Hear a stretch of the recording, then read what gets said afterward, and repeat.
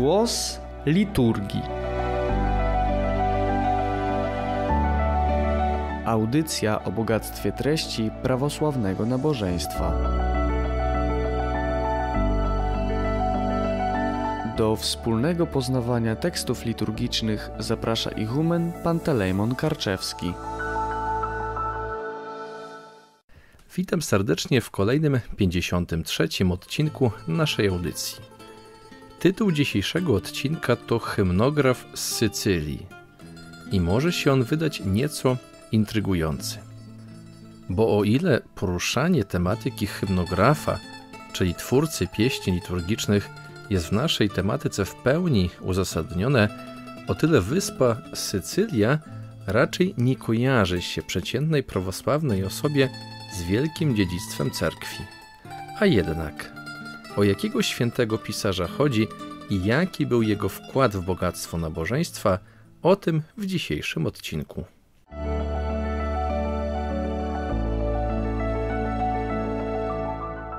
Głos liturgii. Różne były dzieje Sycylii, jak i całej południowej Italii, południowej części Półwyspu Apenińskiego. Od III wieku przed naszą erą Sycylia była prowincją Cesarstwa Rzymskiego, ale już w VI wieku naszej ery została podbita przez Bizancjum za czasów cesarza Justyniana Wielkiego. Należała do imperium do IX wieku. Wtedy to zaczęła być stopniowo podbijana przez Arabów. Ostatecznie została w pełni zajęta w X wieku. I właśnie na początku IX wieku w momencie, kiedy Sycylia należała do cesarstwa bizantyjskiego, a więc i greckiego kręgu kulturowego, ale już rozpoczęły się najazdy arabskie, na świat przyszedł Józef. Urodził się w pobożnej chrześcijańskiej rodzinie Plotyna i Agaty. I z uwagi na niebezpieczną już sytuację na Sycylii, rodzina zmuszona była do emigracji na tereny dzisiejszej Grecji. I w wieku 15 lat młody Józef trafił do Tesalonik i wstąpił tam do monasteru. Wyróżniał się wielką pobożnością i pracowitością. Wkrótce został wyświęcony na kapłana. Przez Tesaloniki przechodził wówczas święty Grzegorz Dekapolita, który zmierzył do Konstantynopola, by wspomóc walkę z herezją ikonoklazmu. Dodajmy, że pierwsza połowa IX wieku był to czas po siódmym Soborze Powszechnym, który to obalił ikonoklazm jako herezję, czyli uznał, że kult ikon jest prawidłowy i zgodny z Ewangelią oraz tradycją cerkwi. A jednak problem ikonoklazmu trwał dalej. Heretycy, których było wielu i w gronie hierarchów i duchowieństwa, walczyli nie tylko z ikonami, ale i choćby z kultem świętych i z monastycyzmem. Tymczasem to właśnie monastery stały się wówczas głównymi ostojami prawosławnej wiary i nauki. I co bardzo istotne, panujący wówczas cesarz Teofil oraz ówczesny patriarcha Konstantynopola także byli zwolennikami herezji ikonoklazmu, a więc był to czas wielkich prześladowań. I wróćmy do naszej historii. Święty Grzegorz Dekapolita zauważył wyjątkowość młodego mnicha Józefa i zabrał go ze sobą do Konstantynopola. Tam obaj starali się głosić prawosławną naukę, pracować z ludźmi i bronić pobożności. Z uwagi na trudną sytuację prawosławni zdecydowali się wysłać poselstwo do Rzymu z prośbą do papieża Leona III o pomoc. Były to czasy, kiedy wschód i zachód były ze sobą w jedności. Ponadto Rzymu nie dotknął problem ikonoklazmu, ani też Rzym nie podlegał pod cesarza Konstantynopola. I na takiego posłańca do Rzymu mnisi wybrali właśnie Józefa. Jednakże po drodze mnich został porwany przez Arabów i wysłany na Kretę. Tam wydano go ikonoklastom i zamknięto w więzieniu. W noc bożonarodzeniową Józef miał widzenie świętego Mikołaja, który poinformował go, że zmarł cesarz ikonoklasta i prześladowania zakończyły się. Święty Mikołaj dał Józefowi zwój i nakazał, by ten go zjadł. Na zwoju napisane były słowa Pospiesz o dobry, prędko, jako miłosierny, na pomoc nam, bowiem możesz to, co zechcesz. Józef odrzekł słowami psalmu Jak słodka jest dla mego podniebienia Twoja mowa. Wtedy łańcuchy, którymi uwięziony był Józef, spadły z niego, a drzwi więzienia się otworzyły. Mnich opuścił więzienie i w cudowny sposób nagle znalazł się w Konstantynopolu. Tam nie zastał już pośród żywych świętego Grzegorza, ale zdążył jeszcze spotkać się z jego uczniem świętym Janem. Wkrótce zbudował w Konstantynopolu cerkiew świętego Mikołaja i tam złożył ciała i Grzegorza i Jana, a przy cerkwi powstał monaster. Józef otrzymał wkrótce w prezencie cząstkę relikwii apostoła Bartłomieja. Wniósł w jego, wzniósł w jego cześć cerkiew i chciał uroczyście uczcić jego pamięć, ale przejmował się tym, że nie ma hymnów wychwalających apostoła. Przez czterdzieści dni modlił się gorliwie i w Wigilię Święto objawił mu się sam apostoł Bartłomiej, który położył mu na piersi Ewangelię i błogosławił, by sam Józef pisał hymny liturgiczne. Powiedział takie oto słowa. Niech błogosławi Cię prawica wszechmocnego Boga i niech się wyleją na język Twój wody niebiańskiej mądrości. Serce Twoje niech będzie świątynią Ducha Świętego, a hymny Twoje niech napełnią słodyczą cały świat. Po tym objawieniu święty Józef napisał kanon ku czci apostoła Bartłomieja. Posłuchajmy fragmentów.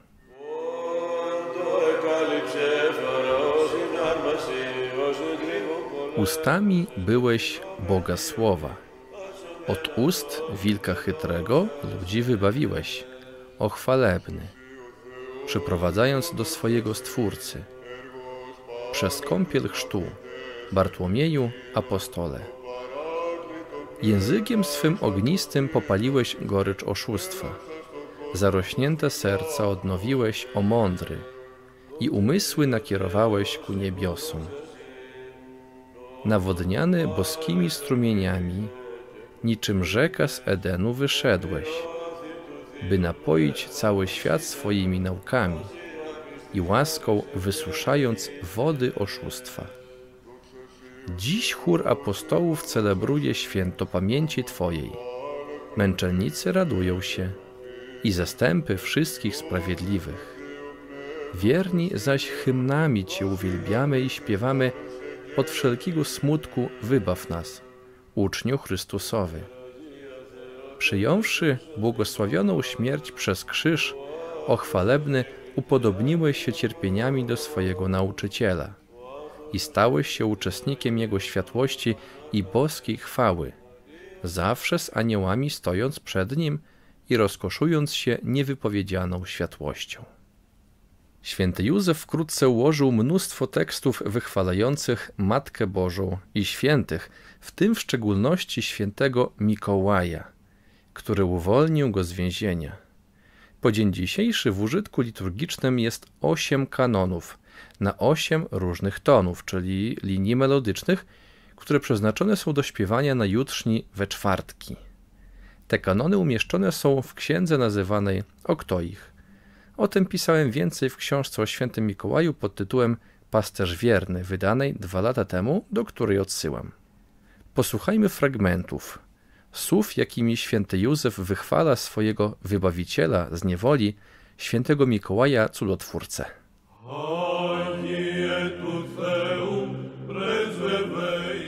Latający pośród kwiatów cerkwi, niczym ptak z anielskiego gniazda na wysokościach, Mikołaju, trzykroć błogosławiony. Do Boga wołasz za wszystkich ludzi w utrapieniach i pokusach pogrążonych i wybawiasz ich swymi modlitwami. Zakosztowałeś czcigodny Bożej słodyczy.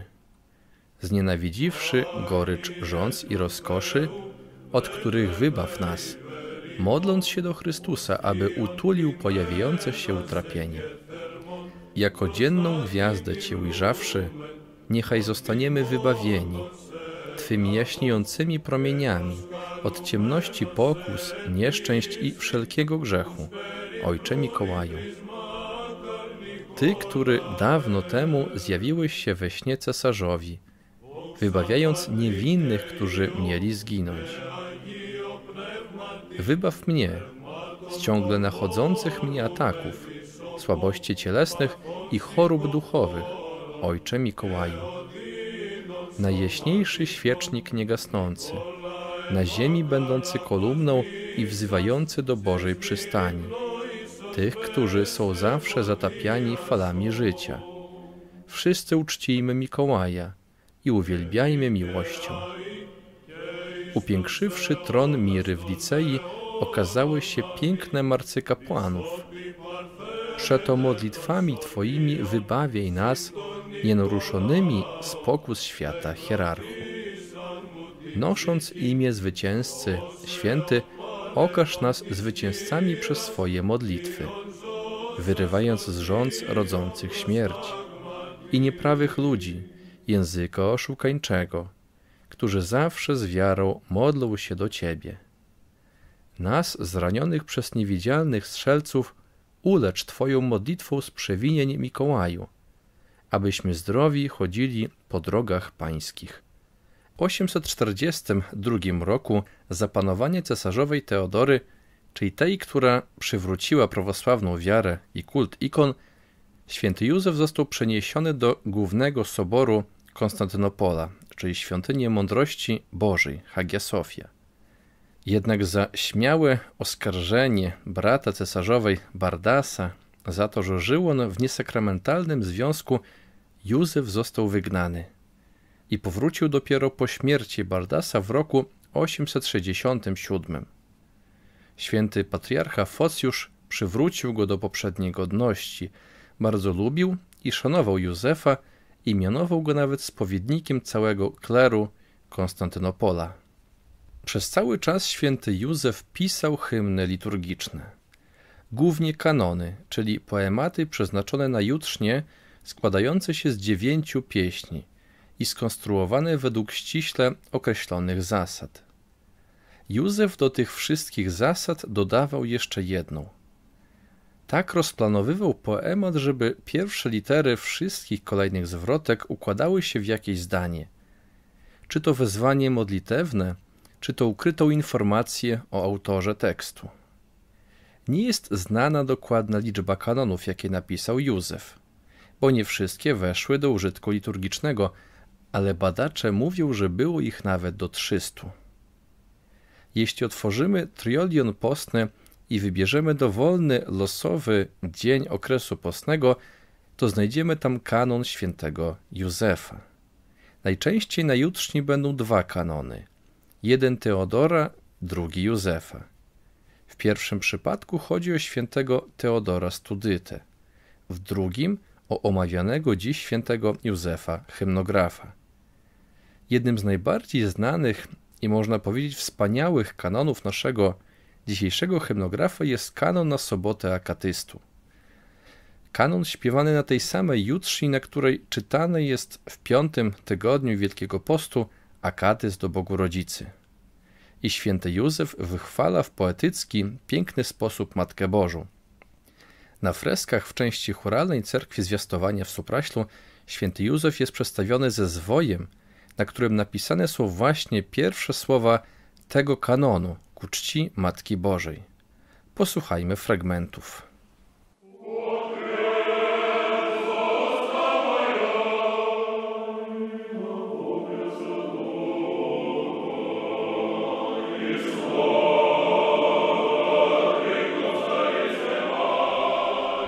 Uduchowioną Księgę Chrystusową zapieczętowaną przez Ducha.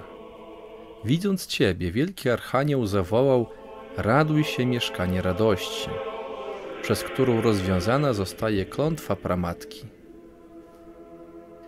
Niewiędnący kwiecie, raduj się, jedyna, która wydałaś wonne jabłko. Raduj się, która zrodziłaś wonność jedynego króla. Raduj się, nieznająca małżeństwa zbawienie świata. najjaśniejszy poranku. Raduj się jedyna nosząca słońce, Chrystusa, mieszkanie światłości. Raduj się, która rozpędziłaś ciemność i całkowicie odpędzasz mroczne biesy. Ciebie opiewamy, któraś splotła światło nie ręką ludzką uczyniony wieniec. Wołając do Ciebie, dziewico, raduj się, ochrono wszystkich i ogrodzenie, umocnienie i święta ucieczko. Moc i umocnienie ludzi, raduj się, przeczysta, miejsce uświęcenia chwały.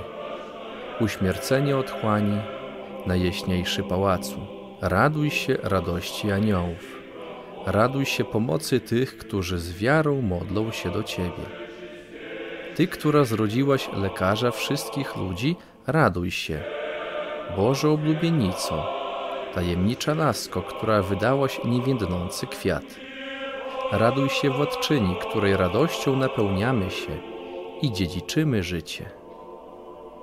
Stańmy pobożnie w domu naszego Boga i zawołajmy: Raduj się, władczyni świata. Raduj się, Mario, pani nas wszystkich. Raduj się, jedyna nieskalana między niewiastami i dobra.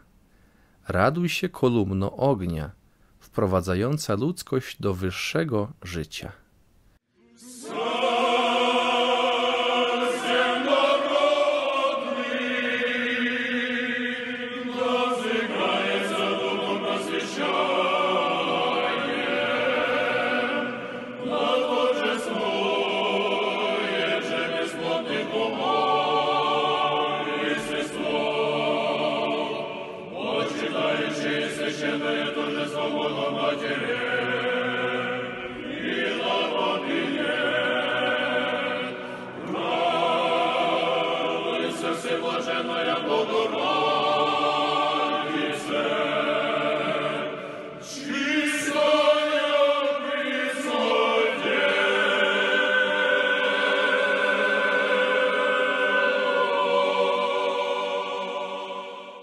Józef dożył głębokiej starości, zachorował.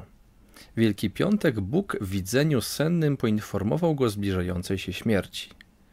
Święty Józef, żeby uporządkować ziemskie sprawy, sporządził protokół. Opisał całe mienie Soboru Mądrości Bożej, za które odpowiadał. I kilka dni gorąco modlił się, szykując się do śmierci. Po przyjęciu Eucharystii Józef odszedł do wieczności.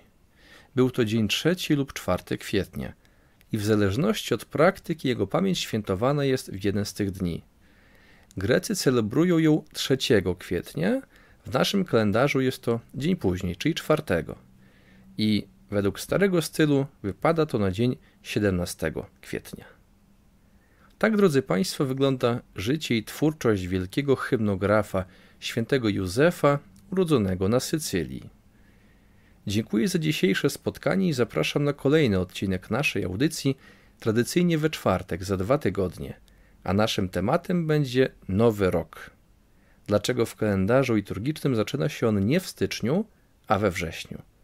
Dziękuję za uwagę i do usłyszenia.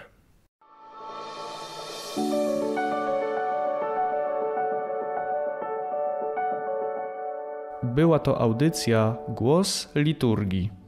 Radio Nadziei, Miłości i Wiary.